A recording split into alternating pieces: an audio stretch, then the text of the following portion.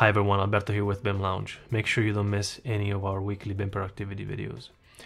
In this 2 Minute Tuesday, I'll show you a few of the shortcuts that are going to make your Revit life a lot easier. In this particular one, I'll be focusing on file management type of shortcut. The ones that are going to be most useful, especially now that a lot of us are working from home. Let's get to work. So first I'd like to go through all the shortcuts in this order. So the first one would be Control N for new project. I also use this not just to start a new file, but also to open the container file I used. I made a video about this, uh, you'll find a link in the description.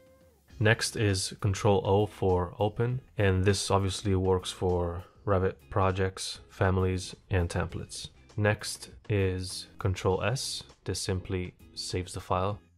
Next is Control P for print, this is probably one of the commands that you would use the most.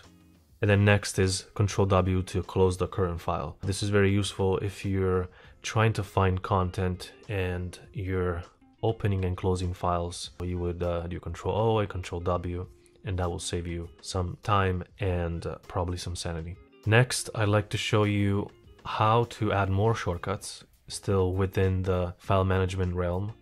So if you go to File Options, you'll see that in the user interface you have keyboard shortcuts and you can customize and add new shortcuts here.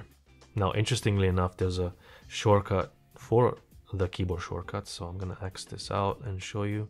So if you hit KS you would access that directly which again we're saving time by not having to go through the file menu.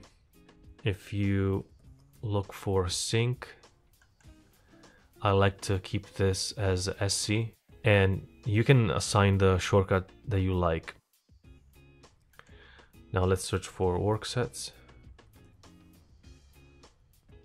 And I like to assign this, I like to assign, for example, WS, and that seems to be available. And another one that I like is manage links, especially if you're handling heavy projects and that's available too.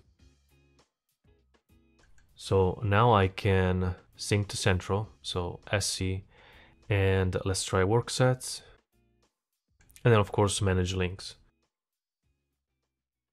Now let me know if you have any questions and also let me know if you have any good shortcuts to share and I'll see you in the next one. Thanks for watching.